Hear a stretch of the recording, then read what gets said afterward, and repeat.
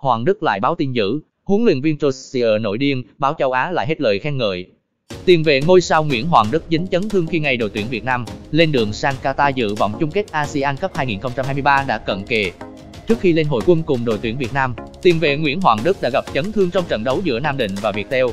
Sau khi được bác sĩ đội tuyển đưa đi chụp cộng hưởng từ, anh được kết luận bị phù dây chằng chạy xên trước và sau, dây chằng xên mắt sau, phù nề tổ chức phần mềm quanh mắt cá trong trái.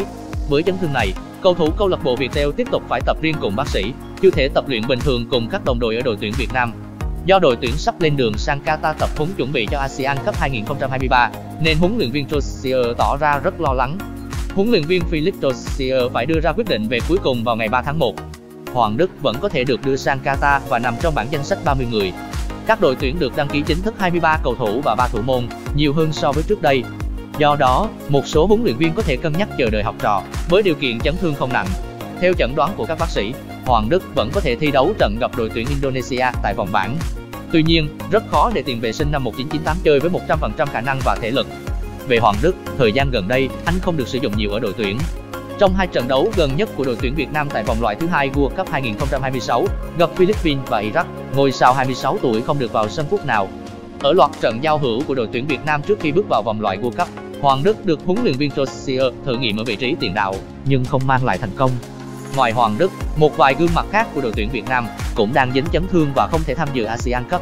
Cơn bão chấn thương ở tuyển Việt Nam đang khiến huấn luyện viên Trossier thực sự hết sức đau đầu.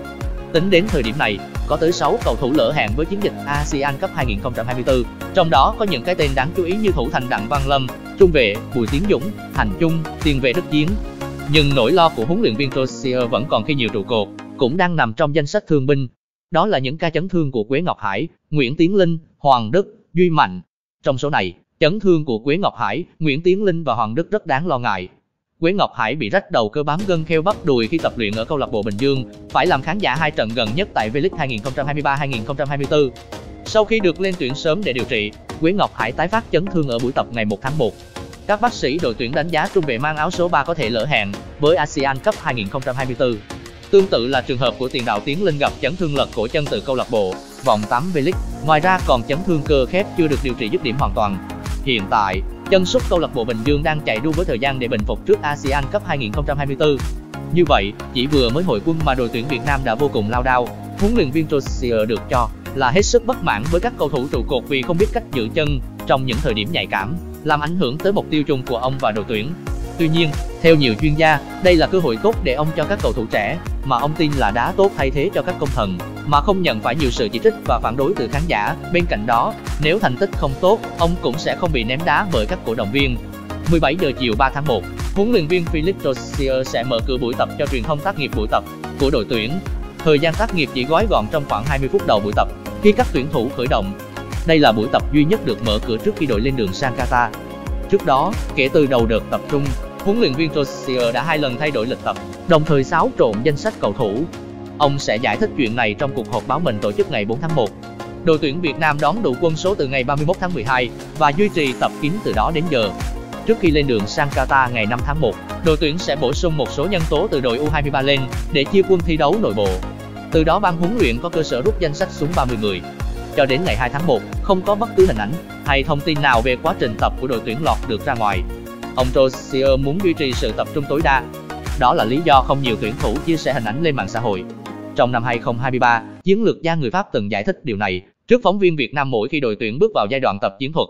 Ông Trossier đang chịu áp lực lớn. Tại ASEAN Cup 2023, tuyển Việt Nam nằm ở bảng D với Nhật Bản, Iraq và Indonesia. Tuyển Nhật là đương kim Á quân, vừa thắng Thái Lan 5-0 ở trận giao hữu ngày 1 tháng 1. Iraq và Indonesia là hai đối thủ của Việt Nam ở vòng loại thứ hai World Cup 2026. Với việc tham dự ASEAN Cup 2023, đội tuyển Việt Nam nhận được số tiền rất lớn và sẽ tăng thêm nếu tiến xa tại giải. Mới đây, AFC vừa công bố mức thưởng dành cho các đội bóng tham dự giải ASEAN Cup 2023.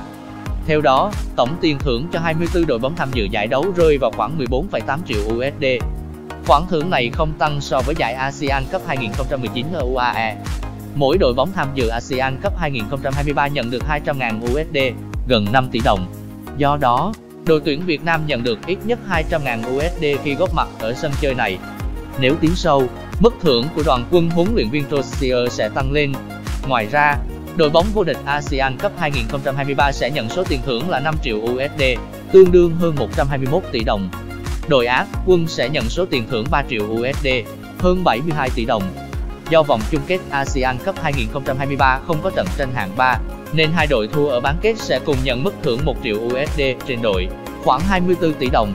Mặc dù khả năng tiến sâu của Việt Nam là rất khó, nhưng báo chí châu Á lại có vẻ rất tin tưởng huấn luyện viên Rosier, điều mà các cổ động viên Việt Nam không có.